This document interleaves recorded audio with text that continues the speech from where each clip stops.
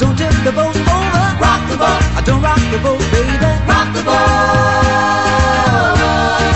It's um, Simon from Seakeeper here. Um, I'm out here in Sydney today with the uh, new Seakeeper 2 which is mounted to a Haines Signature 788 Sportfish. It's actually the world's smallest trailer boat with a uh, gyro stabiliser system in it. So we took it out today on a pretty shitty Sydney day. Uh, out through the heads was about 20-25 knots blowing out there. Um, white caps all over the place. I was definitely the only trailer boat going out through the heads today. We uh, put a couple of guys up on the gunnel and we rocked the boat and um, the lean angle indicator was showing 15 degrees uh, and as soon as you activate the gyro back on, bang, she rights herself back to zero degrees and it just feels like concrete and you just can't shake the boat anymore.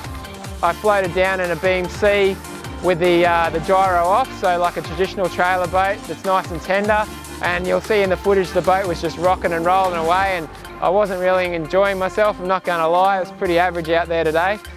And then I came back, turned around, did the exact same test with the gyro on, and you'll see in the footage the boat just stays 100% flat. It'll still go up and down with the seas, but instead of rocking and rolling like this, I just went up and came back down. I was quite happy sitting there, and if I had a beer and was able to drink it, I probably would have. I came in the other night behind the ferry, and instead of the boat rolling down into the wave, it stays nice and flat, drops into the wave and comes back up the other side. How does the uh, gyro work?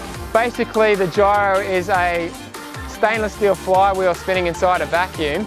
And when the boat senses resonant roll, in other words, rock and roll when you're out at sea, the gyro, the word we use is precess, so the gyro will precess through an arc and it'll put an anti-roll torque into the longitudinal structure of the hull. Um, it's kind of like if you chippies out there have ever used an angle grinder and you got your angle grinder on and you change direction and it kicks, it's exactly the same principle. So the, um, the, uh, the torque that your grind is creating, the centrifugal torque, the same thing as our flywheel weight. So when it sees that change in uh, momentum and direction, the flywheel then precesses and puts torque through the hull to compensate.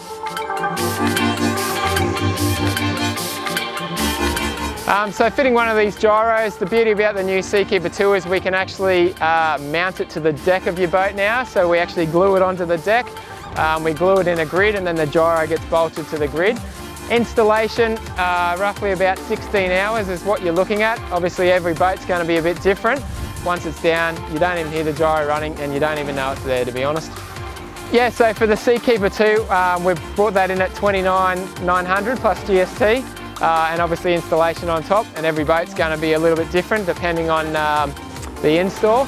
Come on, 40 grand mate, I could buy a fucking shark cat. yeah, good luck with that. a broken one maybe. Um, yeah, look, you know, everything these days costs money, but um, when you can buy something that gives you, you can actually feel it working. Um, if it doesn't make you seasick, you're going to save a lot of money on seasick tablets, that's for sure.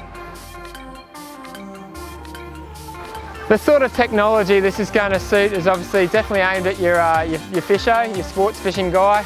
Um, give you a really stable platform when you're offshore.